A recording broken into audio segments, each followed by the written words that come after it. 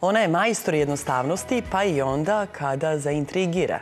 Pre dve nedelje samo nam je pokazala fine, lepe đačke uniforme koje su odjednom otvorile mnogo pitanja. Od toga šta će deci kravate, do toga šta će deci uopšte uniforme, ma kako bile lepe. Otko Dragana Ognjenović u ovoj priči kad, već godinama kad je već godinama neprikosnovena u nekim drugim kreacijama, o tome ćemo razgovarati.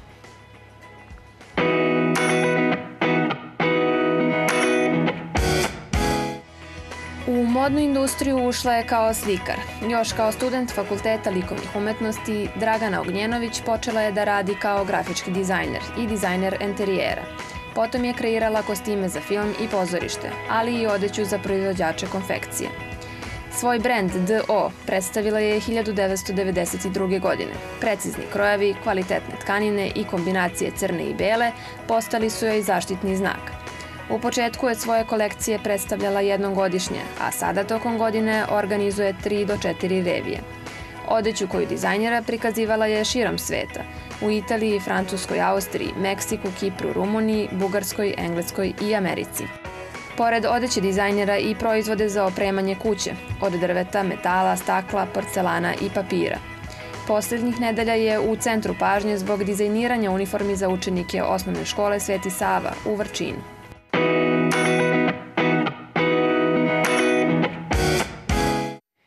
Dobar dan, dobro nam došli, Dragana. Dobar dan, bolje vas našla. Sve ove godine e, ostavljate utisak žene koja nekako beži od središta pažnje. Jeste li svesni kako ste upali pre dve nedelje odjednom u žižu? Pa ne mislim, ne mislim da jesam. Svi su o vama govorili, pa, s onome što ste pokazali. Pa hvala lepo. Ovaj, mislim, nije to bila ideja uopšte. Prosto to je jedna od e, aktivnosti kojom se bavim, da mhm. kažem, u toku ovaj, i dana i godine. Tako da ovo je, mislim, bilo nešto što je očigledno Možda, možda je samo uh, dovoljno, kako bih rekla, javno, pa je uh, ljude ovaj, ponukala da daju i svoje komentare o tome, a i, znate, kako ovaj, malo čas smo pričali, futbolsku reprezentaciju svako formira, tako da i na ovu temu... Svako može da bude kreator. Pa jeste, pa onda i na tu temu može da se kaže ovaj, puno, puno, ima puno ideja i istina i ima raznih mhm. ideja i treba da ih, treba da ih bude, ali ovo je samo jedna od. Otko ste se vi našli u priči kreiranja djačke uniforme? Znate šta, e, nije, mislim, ovo nije prva uniforma koju sam ja dizajnirala, drugo, pozvali su me da to uradim, e, zatim bavila sam se dečim kolekcijama mhm. takođe, e, uniformama za razne razno razne, ovaj, da kažem, brendove i nije mi to ništa bilo neobično. Mislim, naprotiv, baš me je nekako, mislim da je izazov raditi za decu, zato što deca ne, ne mogu da, mislim, oni ne, ne, nemaju tu, tu, da kažem, naučenu poslušnost, oni jednostavno to obuku ili neće, što je meni fenomenalno jer su oni želeli i voleli to.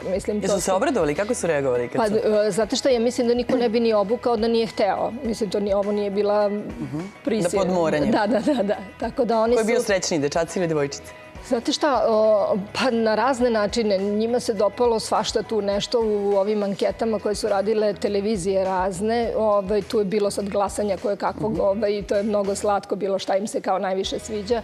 Pa onda su bile suknjice, ne znam, ovaj, ali pobedila je kravata. Ako već hoćete da u svim tim anketama oni su se, u, mislim, u 95% izrazili da im se najviše dopada taj deo. Moguće zato što je, nisu nosili ranije ili tako. Gledali su je na televiziji televiziji samo, verovatno. Moj sin se izjasnio da neće u tom anketi u školi, da ne želi da nosi uniformu i onda kada sam mu pokazala, rekao je da mu se jako sviđa, pogotovo zbog tih kravata, ali imao je pitanje može li se u tome igrati futbal.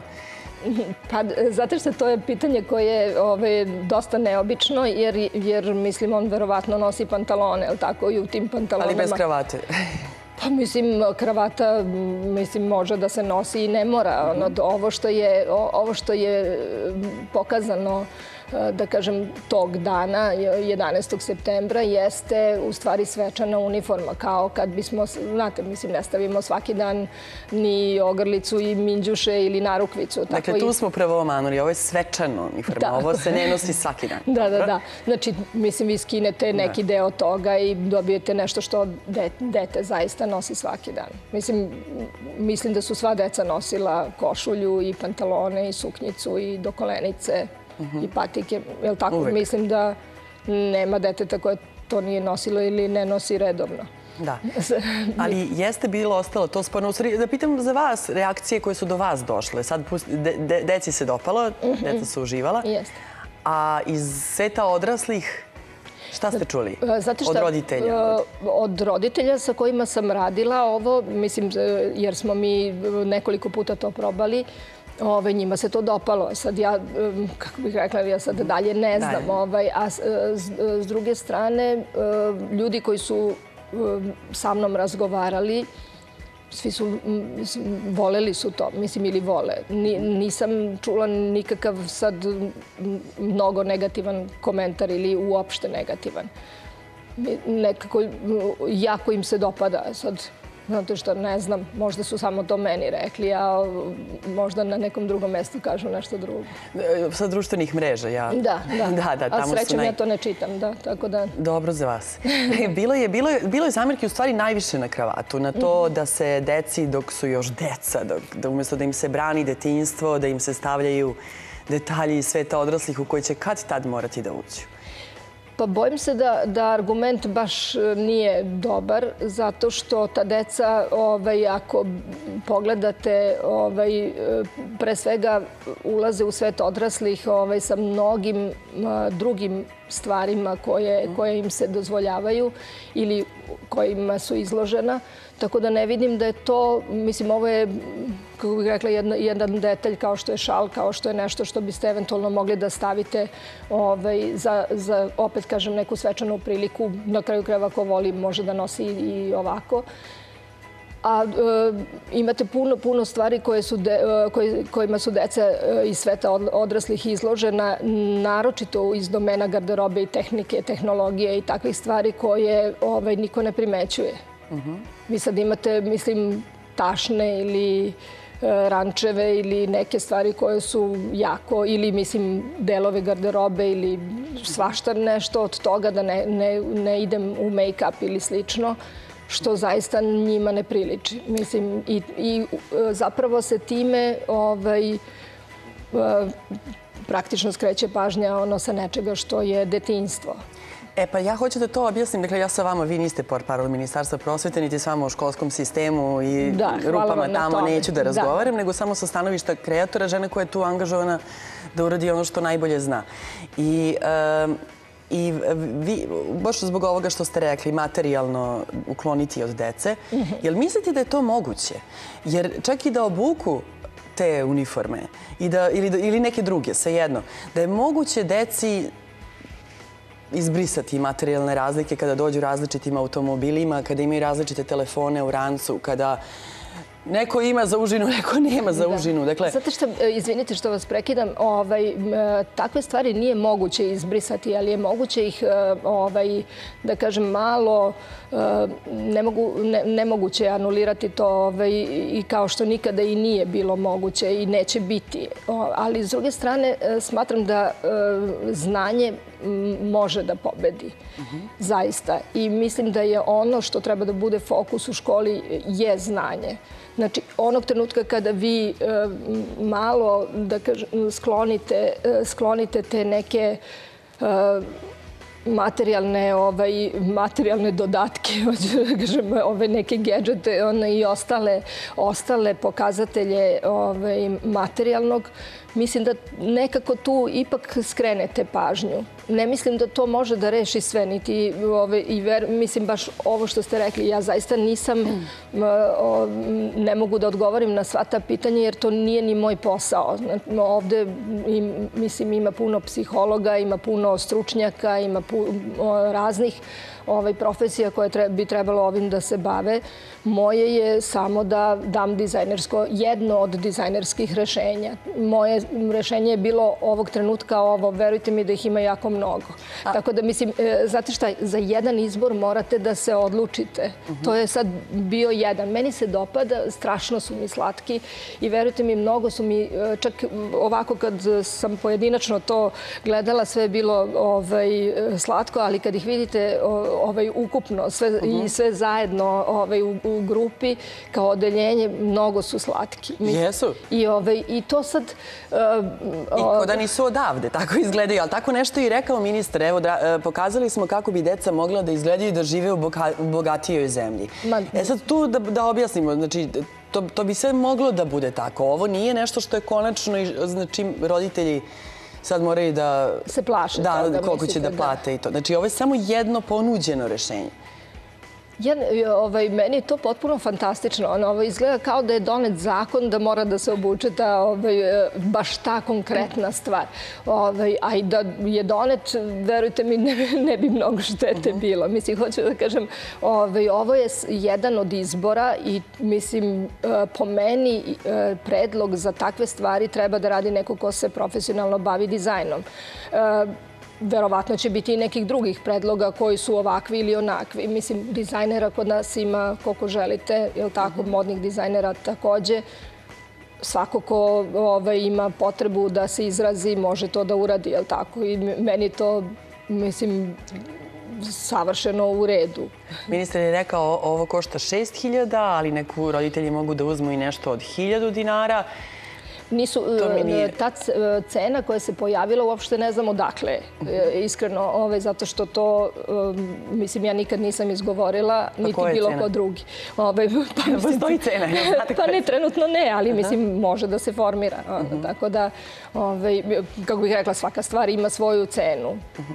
Može da se izračuna to, to nije. Ali ovde to nije bila, ovo nije bila poenta te stvari. Roditeljima jeste, pošto decu pokušavamo da sklonimo iz materijalnog sveta, ali roditelji su tu duboko zaglibili i onda računaju koliko šta košta. Pa je ministar kad je rekao 1000 dinara, ja, jel biste vi mogli da napravite, na primjer, lepu, ovako lepu uniformu za 1000 dinara? Znate šta, naravno da ne, zato što, mislim, takvu stvar ne možete ni da kupite, ni da sad ne kažem ovaj, negde gde se to prodaje ovaj, za mnogo jeftinije, mislim, za mnogo jeftinije.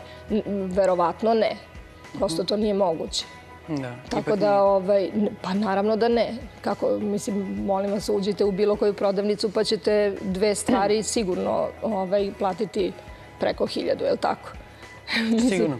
Mislim, samo da kupite ovaj, čarapice, pa to je sasvim, znate koliko koštaju. Mislim, meni je absurdno, e, absurdan mi je ovaj, e, moram da kažem, ne ovaj razgovor, nego razgovor o tome e, iz razloga što kao da imate dve, dve različite ulice. Jedna ulica je ovaj, koliko ovo košta, a, ovaj, a onda druga ulica je ovo što inače deca kupuju, to u stvari mhm. sad ne košta, je li tako? Tako da imate tu, tu vrstu poređenja. Mislim, prosto to su... Ovako, ova uniforma ili neka druga bi zapravo zamenila sve one farmerke, dukseve koje svaki dan menjamo, deci. Tako je, da. Koje plaćamo. Na to, to hoćete da kažete? Pa ne, hoću da, kažem da mislim oni ne idu trenutno ovaj golišavi u školu, je li tako? Znači ne idu bez odeće, nešto, nešto oblače. Mislim, ja opet kažem, ja ne mogu da branim ništa što, ovaj, mislim, što, je, što nije iz domena dizajna, nego sad, hajde da kažem praktično, pa praktično, mislim, oni su, je li tako, odeveni. Svakako nešto obukli. Jel da, o, jesu, sigurno su odeveni. Pa onda, mislim... I to svakako. Pa da, da, da, mislim, nije ni važno, znači, ukus je stvar od diskusije je li tako? Ono, mislim, prosto ne vidim sad tu šta je, e, ovaj, ako merite koliko koštaju ove pantalone ili neke druge pantalone, mhm. mislim, jednog dana morate doći do tog poređenja. Prosto sve, sve te stvari njima nisu poklonjene koje nose u školu, je li tako, nego su kupljene. Tako da, pa mislim, i ja ništa mi nije baš jasno tu. To i kažem da ste upali u uzbrku svega i svačega, samo što ste uradili ono što je od vas traženo. E nisam upala ni u kakvu zbrku, ja se svojim poslom bavim ovaj, na način na koji umem i mislim to je ovaj, ono što sam ja predložila i to je moj, ovaj, kako bih rekla, to je jedan od mojih stavova unutar toga. E sad, kažem, to može da se izvarira na na razne ovaj, teme i u raznim stajlinzima, reč koja nam je svima poznata. Tako da vi sad ovu uniformu već možete da napravite kao nešto ležernije, nešto ovaj, manje ležerno ili već da idete u neka druga rešenja. Je li vam bilo teško, pričali smo malo pre o tome, da napravite nešto što će sad, to je posebno osjetljivo, deca su mala i žele da izgledaju lepo, različito su građena i opasno je da se nekom razvije možda neki kompleks ako mu nešto ne stoji ili tako. Kako, kako im napraviti nešto što, što im je lepo, što im se sviđa, što svakome stoji? Pa dobro, to, u tome se i sastoji taj zadatak e, dizajnerski, jel tako? Da pokušate da napravite nešto što ovaj, će svakome biti kompliment.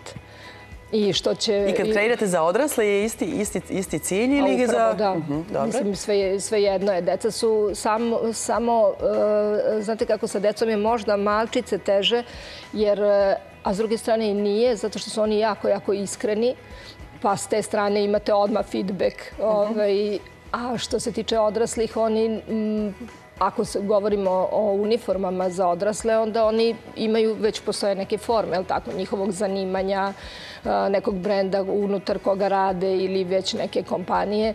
Tako da e, sad tu imate e, spoj e, zahteva kompanije i ovaj, osobe koje bi to trebalo da obuče. Imate i profesija u koje ne možete ni da uđete ako ne nosite uniformu, tako, bez obzira na stas i glas ovaj, koji posjedujete, prosto tako, to je zahtev posla. Eto, mislim, različiti su e, pristupi, ali ovo nije bilo... Nije bilo teže. Nije teže nego sad kad ste spremali novu reviju.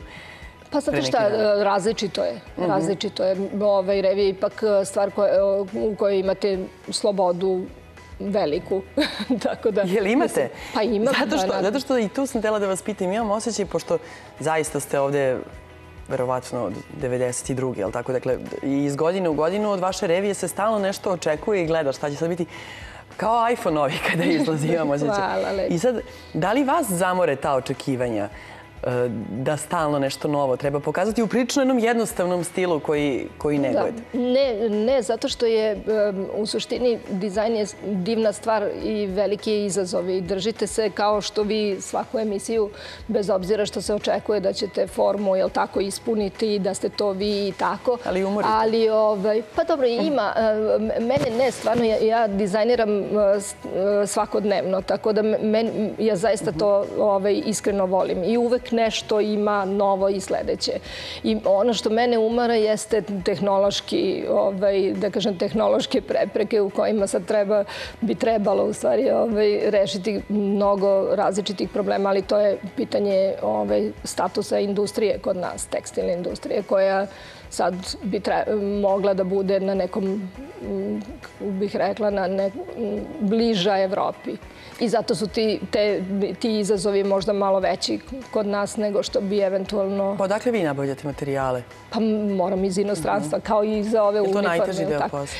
Zato što imamo osjećaj da su prirodni materijali proterani, da je ovo carstvo sintetike zavladalo gde god da o čemu se radi. I to kažu da je to fina sintetika, da je ista kao prirodni materijal, da nema razlike. Zato što ima i divnih polijestera mhm. koji su u mešavinama, naravno, koji su i vrlo, da kažem, skupi i e, ne samo mhm. skupi, mislim, to bi bila jedna od e, ovaj, osobina.